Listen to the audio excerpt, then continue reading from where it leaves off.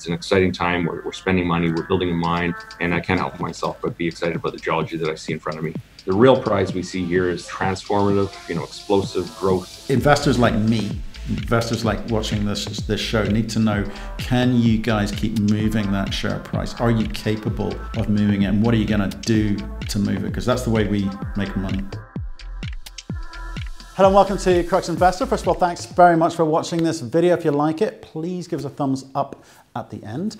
Uh, and do leave your comments below. Help us understand the sorts of questions you think we should be asking, how you think we've done, and of course, what you thought of the company. And you can also catch this as a podcast or read about it as a transcript or an article on cruxinvestor.com. Plus, if you're a Crux Club member, you get early access to this video. And if you haven't already done so, please click the button in the corner of the screen to subscribe to our YouTube channel. And for more videos like this, click the notification bell. We spoke earlier today to Darin Labrenz. He's the CEO of Pure Gold Mining. Now, this is a, development story, soon to be a production story. They hope to be in first pour in the next five, six months. Um, it has been of a, a, company which has been idling for the last two or three years, but has recently seen a uptick as the market has recognized the potential new uh, producer status and the fact of they've been able to better describe what it is that they think they've got under the ground. So um, fantastic uh, story here from Darin. We talk about how they've moved things through. They've got 100 million bucks in the bank. They've got Eric Sprott with 30 million uh, invested. Got lots of new uh, funds involved with this um, story and they've got a lot more exploration uh, to do. So quite exciting topics to discuss. Take a look in the description at some of those. Anything interesting in particular, click on the number beside that and that's, uh, that's called a timestamp. I'll jump you to that part of the video. Otherwise, enjoy what Darin has to say. Darin, how are you doing, sir? Really well. How about yourself? Not bad, not bad. I'm, I'm surviving. We've got a heat wave here. 30 degrees. I, sh- I should be by the pool, but instead I'm talking to you. That's how much I like your story. That's fantastic. Uh, I mean, you can share some of your heat with us. We're, uh, we're quite rainy today. Oh, right. Well, like, hey, for people new to this story, um, let's let's give them that one minute overview um, of, of where you're at, and then we'll pick it up from there. Absolutely. Uh, so we are Pure Gold Mining. Uh, we're building our Pure Gold mine in Red Lake, Ontario. Uh, it is a, uh, a mine that will be uh, completed in December this timeframe. So we're about five months away from first production. And, uh, and that mine is going to be the fifth highest grade mine in Canada when, when completed, the 17th highest grade mine in the, in the planet. And so we think we're really timed from a market delivery perspective. But importantly, we're, we're thinking about growth already and, and driving down that path. So it's, uh, it's an exciting time with uh, respect to Pure Gold. Yeah, no, I mean, well, it certainly is. And that's why I wanted to talk to you, because um, since we last spoke, which wasn't that long ago, only a few weeks ago, you've got a bit more money into the coffers. This, um, you know, you, you, I, want, to understand what you're going to be doing with it. But look, when we talked last, you talked about what you're doing during this phase one. You've just kind of given us a clue there. You're five ways away from production and, and, and first pour. So, um, can we just again remind people what you've done to within that phase one period? Um, and then we can sort of move and sort of look forward as to what you're trying to do. Absolutely. So we've got uh, you know on the ground over the last four years we've uh, we drilled off a uh, 2.1 million ounce indicated resource at about nine grams per ton. Another half million ounces of inferred material. And about two years ago, we we very deliberately, and this is you know partially due to the market we were in at the time, we we took the approach of um, moving a portion of that mineral resource quickly through to cash flow. And so what we did is we ring fenced a million ounce reserves at nine grams per ton. That's our phase mine, phase one mine, if you will. And uh, and we decided to complete a feasibility study on that. At 1,275 US dollars an ounce, it uh, looked very robust, and so we announced a construction decision. Uh, we fully funded that. In fact, you know, arguably we overfinanced it, um, and and that gave us the, the financial flexibility to start construction. Uh, we're well well underway with respect to construction today. We started our pre-production underground development in December. Uh, we're working on, you know, effectively modernizing and building a brand new processing plant within the shell of the existing plant, and and we are targeting first gold production in December of this year. And so, you know, very well timed from a market perspective, given the margin expansion we've seen over the last year.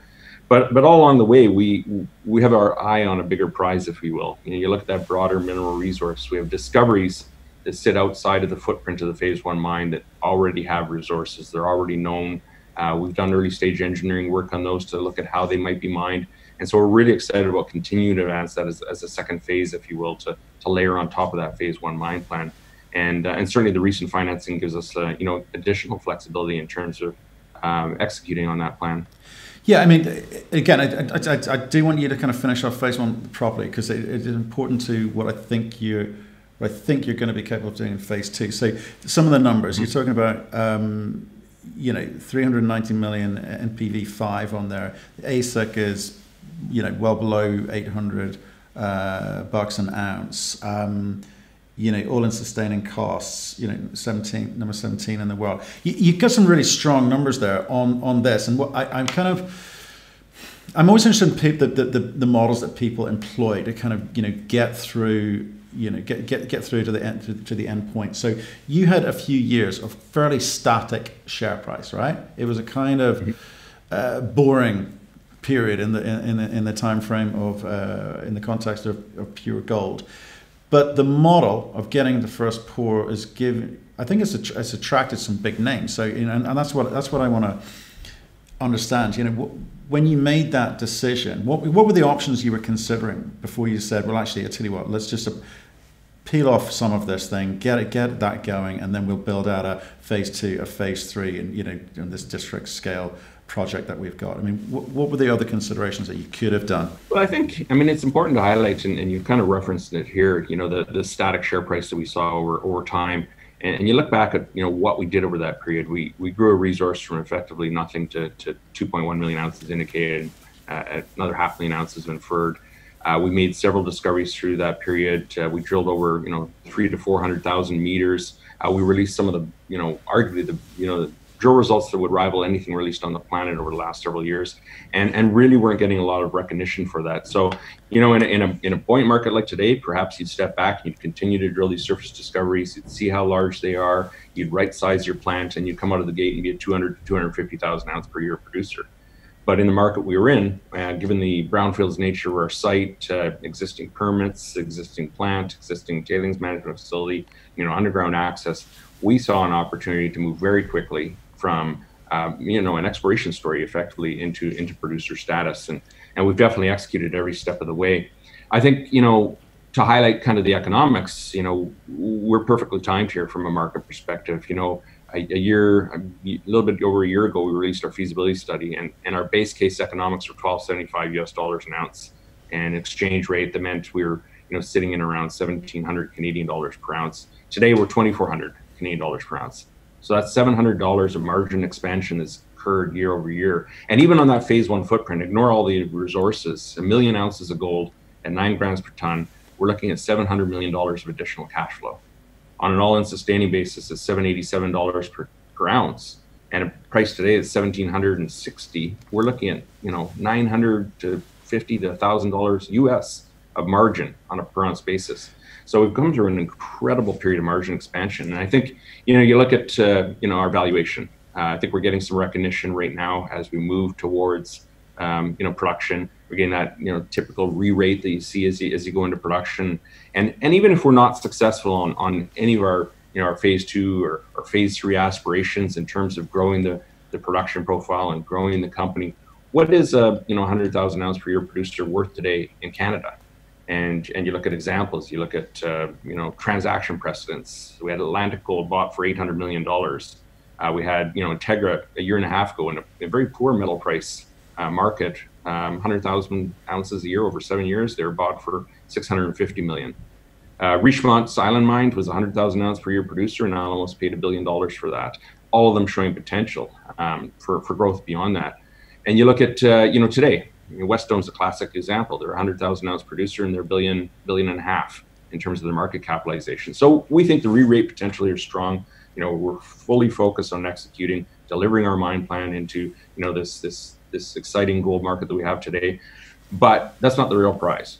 The real prize we see here is is the opportunity for for uh, continued growth of those resources outside of the phase one footprint expansion of the mine plan, the production profile potentially, the economics of the project, and longer term, the opportunity for very, what I would call transformative, you know, explosive growth in high grade zones like our own eight zone. Um, these are the things that, you know, really get us revved up in terms of driving this project forward. And it's certainly what uh, brought in you know Eric Sprott to, to, to finance and aggressive growth. Yeah, and, and I do want to get onto it, but I, again, I'm, I'm trying I'm trying to understand the moment, and the reason the reason it's important because there are going to be future decisions you're going to have to make, and I want to understand mm-hmm. the big moment where you change you said well look hey let's let's go because if you look at someone like Great Bear okay they're, they're kind of you know a good comp in the sense that, that in terms of size and scale they've got a different model. They're kind of drilling out. They're probably not going to do a resource for another you know year or, or year year and a half. And and you know great. And they've got they've been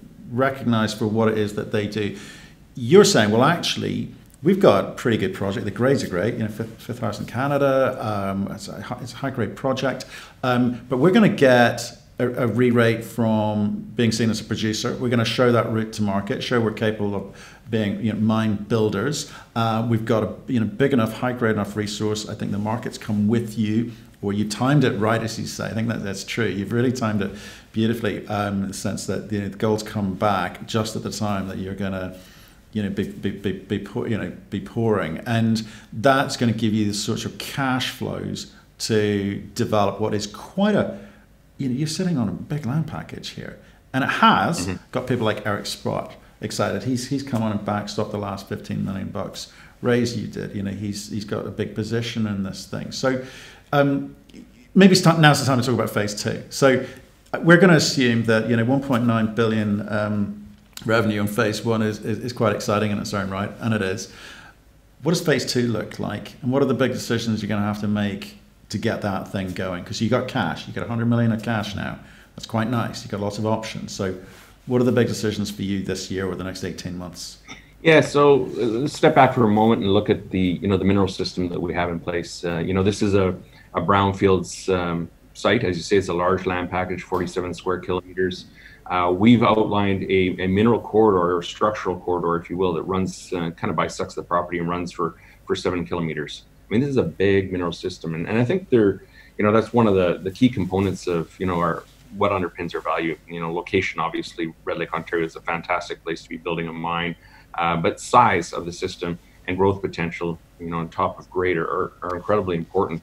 So, a seven kilometer mineralized system, um, you know, our phase one footprint forms part of that. But as you step to the south, we have new discoveries, you know, things we call fork zone, the wedge zone, which are at surface. They're defined down to three to 500 meters. We have mineral resources on those. Uh, we did a, you know, an economic, not an economic, but an engineering kind of scoping level study to look at, you know, what would the capital be to mine them, you know, what kind of productivity could we get out of those zones, and and so we already have a good sense of what impact they could have on the phase one mine plan. So the uh, you know the exploration program that we've just initiated, uh, it's going to be you know 30,000 meters to start. It'll likely go to 50,000 meters over the next 18 months, and it's really got three goals uh, of that program. One is to convert resources to reserves in the footprint of the phase one mine. So we're underground there. We're, we're drilling, you know, in and amongst the, the first three years of the mine plan, really to look at growing resources and ultimately reserves in, in that footprint. Two, we want to look at these surface discoveries, the extension of the broader mineralized system, and and grow those resources because they are open. Uh, convert inferred and indicated to, to give us uh, you know a better confidence of incorporating into a future mine plan, and then ultimately look at you know what is the productivity of those mining centers. You know what could Fork, Wedge Zone, Rusty South Zone deliver to a centralized milling facility, and you know we, we, we feel it's you know we're looking at easily 400 tons per day, 800 tons per day is, is is something that we we looked at in our scoping study. And so, you know, you put those two together, we've got an 800 ton per day plant today. You add 800 tons of production from those mining centers, and suddenly you're looking at doubling your production profile. And you know, to step back to valuation, it is not a linear change from a 100,000 ounce per year producer to a 200,000 ounce per year producer. So we think there's a you know a huge value uh, opportunity here in, in in following this this phased approach. No, no, I'd, I'd, agree with that. But here's here's your big challenge, your next big challenge your NPV5, you're above half a billion. Uh, not sorry, NPV5, your market cap, you're above, you're above um, half a billion now. And you, so you're, like I say, your share price got over the kind of moving average for the last, I guess, two or three years, only some two, three months ago, right? So you, you, you move to the next phase, the next level. You've got a bunch of cash, 100 million bucks of cash in, in, in the bank here. You've got the support of people like Eric Sprott, who I imagine is comparing this to Kirkland Lake. You know, and you know, I, I, I don't understand the the value to Kirkland Lake and Fosterville um, entirely, but I imagine he's he's got a pretty big number he's viewing on you. And, and when we look at, you know, people mention Eric Sprott's name, it's usually in the context of placing a $2 million, $3 million, $5 million bet. You're more than that to him in, in dollar terms. Um, and what what's he saying to you? What's his expectation? Um, what's what's he seeing here? Because investors like me, investors like watching this this show, need to know: Can you guys keep moving that share price? Are you capable of moving it? And what are you going to do to move it? Because that's the way we make money. Yeah. Yeah, so you're absolutely right. I mean, Eric's put thirty million dollars into Pure Gold. Uh, it's a you know, he's a twelve percent shareholder, and uh, and the comparisons to, to Kirkland Lake are, are, are, his comparisons, and and so let's let's kind of unpeel that a bit because um, I don't think it's pie in the pie in the sky kind of kind of stuff. Uh, our mineral resources, you know, I talked about the surface discoveries we made along strike. Uh, within the heart of the phase one mine plan, we have resources and reserves down to about a kilometer depth. Uh, we have an intercept, a drill intercept uh, at 2.1 kilometers. And so there's, you know, you think about these deposits around the world, and, and certainly Macassa, Fosterville, the Red Lake Mine Complex, now owned by Evolution, just up the road from us, are great examples of, of this style of deposit. They're they're deep rooted, and so we have every reason geologically to believe, and it's supported by a deep pierce point, that our deposit will continue to depth. So, what differentiates you know Kirkland Lake? Um, Macassa you know, was a brownfield site that made a deep discovery called the SMC and took it from, you know, 50,000 ounces of production to 260, 270,000 ounces last year. Fosterville mine, you know, multiple companies, you know, broke their pick, as they say, on, on Fosterville. Uh, they discovered the Swan Zone. Suddenly it's producing 650,000 ounces. And that explosive transformative growth is, is, is, it's a company builder. It's really exciting. So just down the road from us, I worked at the Red Lake mine, you know, chief geologist the Campbell mine in the mid 1990s, and the first drill holes were going into the high grade zone at that time. And the high grade zone was really what what Goldcorp was born of. Um, at the end of the day, it's produced six million ounces at 70 grams. It took that production profile from 500 and 552,000 ounces, and it turned Goldcorp into a 20 billion dollar company. So you step back and look at our mineral system. You know, two and a half million ounces of historical production. We've got 2.1 in indicated, half million in inferred. You're pushing five million ounces in the top kilometer. At 800 meter depth, we have our high grade zone, the eight zone, and uh, it's got fantastic uh, drill intercepts that have gone into it. You know, 4.3 meters at 460 grams per ton, five meters at 342 grams per ton. It runs three times higher grade than our overall reserve, and uh, and it's open. And so, you know, we think it's the tip of the iceberg. You know, the expression as we have is to, we're just scratching the surface. And, and when you look at the discoveries made along strike, you look at the, the tip of the eight zone, our high grade zone, and that broader potential down dip, I think that uh, our growth plan from here is tremendous. Okay. So I think, like I say, I keep coming back to the difficulties of growth, the, gro- the growing pains, as it were, right? You know, it's, it's kind of it's kind of easy to get to 100 million and 100 to 250 million, then you're up around half a billion, you suddenly become, you know, noticed by the the, the funds, the, the, the big boys. You've hopefully got liquidity, you've got the share price, you're over, you know, 140. So it's all kind of heading the right way, but I kind of sustain that. How do you play the game between doing this right geologically, drilling geological holes versus drilling marketing holes? Because you got to yeah. feed the market going forward. But you've also got to do things the right way. So how do you, how do you strike that balance? You do, you do, and, and I think um, you know strong funding is a, is a is a key component to that. When you look at our, our, our drill program that we're laying out today, you know this isn't 5,000 meters and we're going to go drill a couple of holes next to some high grade holes and and get a little bit of market excitement. I mean this is a prolonged, sustained effort that has multiple objectives. You know, one we're looking to grow reserves in the footprint of the, of the mine plan. Um, that's a real tangible objective that will drive value in that phase one mine. Two, we're not we're not making up um, targets outside of the uh, the phase one mine. We've got resources in in wedge zone, in fork zone, in Rusty South Zone. They are open. Uh, we have a strong geological model in place, and we're going to be looking to grow those resources to really determine how big those mining centers are and uh, and so that's going to be a, a, key component of the of the program. And then of course the you know with the luxury of of being well funded, we can target some of this explosive transformative growth, and and and that'll occur as well. So when you look at you know uh, the next 18 months, uh, you know, we've got three drill rigs active. We're drilling 30,000 meters in the first phase of the program, growing to 50,000 meters. So we'll have results out here in the near term, and you'll see a steady stream of results, you know, every two to three weeks out for the, the balance in the next 18 months. And so, key priority number one is executing on our mine plan, delivering on cash flow early next year, uh, to, to start, uh, you know, continue that re-rate into producer status and step back to talk about what 100,000 ounces a year is worth in Canada today. And then beyond that, this this tremendous growth platform that we see and the ability to to deliver on our objectives is, is I think going to continue to drive the value to, to where we all think it should be. So you, are the guy running the company. You're the CEO, right? These, these are your these are, these are your decisions. You're not under any pressure yeah. from Eric Sprott because he's turned up and done it before. You're not under any pressure from these large institutions are sniffing around to behave or do things differently? No, I mean we share the vision, and so we we all see far beyond the Phase One mine plan. And Eric Sprott, you know, 12% shareholder. AngloGold Ashanti, you know, world number three gold producer, is a 15% shareholder. They're really excited about the uh, the, the, the, path that we've come along and, and the growth that we've in front of us. Uh, and you've got Newmont, Rob McEwen as shareholders. So you have a marquee list of shareholders here that really share that vision of of what this asset could become. Okay, you're not going to get distracted with any any other shiny objects elsewhere. No M and A. You've got enough. We're not looking at that right now. Obviously, we've got um, you know we got to execute. That's that's job number one. And two, you know, we see the strong organic growth platform that we can drive real value from. You know, down the road. Um, obviously, we're a, we're a group uh, that uh, that uh, you know has strong aspirations for growth, but uh, we got to get those things right first. Okay, and what you, so this hundred million bucks, is that going to see you through the next eighteen months or, or, or, beyond? Yeah, so we're financed through through first gold pour in Q4, commercial production in Q1 next year, um, the aggressive uh, exploration program that we have over the next eighteen months, and uh, you know, given the the, the, the market dynamic we see right now and the margin expansion, uh, cash flow will be really strong uh, right out of the gate. Okay, okay. And the, so the on the exploration side, I mean, I mean, obviously you're going to be pouring gold, right? So that, that's really exciting. Fantastic. Where's the excitement for you, though? What, what, what do you get most excited by?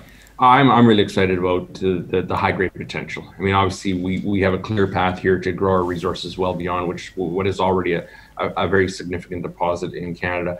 But uh, you look at the eight zone, you look at the grade of that zone, and and the the fact it shares the same geological environment as the Red Lake Mine high grade zone, um, the fact that it's open, um, that kind of discovery and growth of that zone and other zones like that is what really gets me super excited about this company. And do you, I mean, you're the CEO.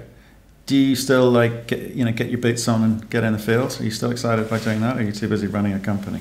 Uh, no, I mean I'm, I'm, a geologist by background. and I don't claim to be a geologist anymore. Uh, certainly, I'm, I'm, I'm focused on running the company, but I I, I need to be out to site. You know, um, there's a lot going on, and uh, it's a, it's an exciting time. We're, we're spending money, we're building a mine, and I can't help myself but be excited about the geology that I see in front of me. So are we. I mean, like I say, we, we, we've, we've been speaking for some time now, and you're following the story, and mm-hmm. it's, I think, finally kind of picking up. You're getting that recognition for what you've got under the ground. I mean, you knew a lot of this for a long time, but the market didn't care. But I think in this environment, you, you possibly have timed it right. So, um, like, th- thanks, thanks for the update. Uh, what's going on? It sounds like you're going to have a lot of news flow. I'd like to think that we could talk more regularly and sort of see you keep delivering. I hope you do get Absolutely. those grades. Um, yeah, so pick up the phone. Will do. Thanks so much for your time. I appreciate it.